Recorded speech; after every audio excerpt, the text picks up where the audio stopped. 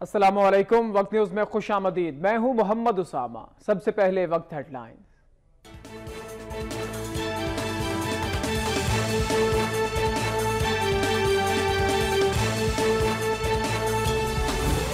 अमरीका की तालिबान के नए अमीर को मुजाकर की दावत। तर्जुमान महकमा खारजा। मार्क टोनर कहते हैं, मुल्ला हैबतुल्लाह के पास कयाम अम का बेहतरीन मौका है। तालिबान के नए अमीर ने मुजाकर की दावत मुस्तरद कर दी। जंग जारी रखने का ऐलान।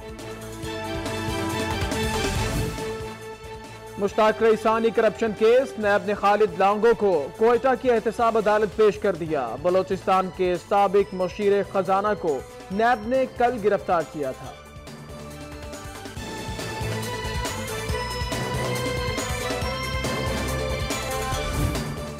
करप्शन के खिलाफ जमात इस्लामी का ट्रेन मार्च लाहौर से मुल्तान की जानब जारी।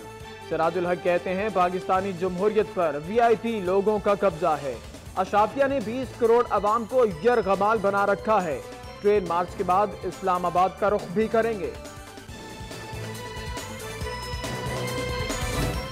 पैनामा कमीशन के लिए टर्म्स ऑफ़ रेफरेंस कमेटी आज फिर सर जोड़ बैठेगी। पहले इजलास में इब्तदाई तरीकाकार तय कर लिया गया। कमेटी की सरबराही किसी भी फरीक को नहीं सौंपी गई।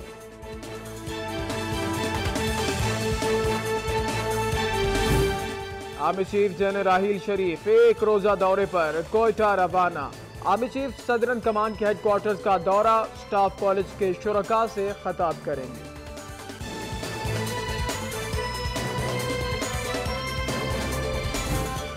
अमरीका में प्राइमरी इंतखाब, कैलिफ़ोर्निया में भी डेमोक्रेटिक पार्टी के सदारती उम्मीदवार। डोनाल्ड ट्रंप के खिलाफ एहतजाज, पुलिस ने आठ मुजाहरीन को हिरासत में ले लिया। और हज़रत लाल शाहबाज कलंदर के सात सौ चौसठ में उर्स की तीन रोजा तकरीबा सेवन शरीफ में शुरू। मुल्क भर से जायरीन की आमद का सिलसिला जारी।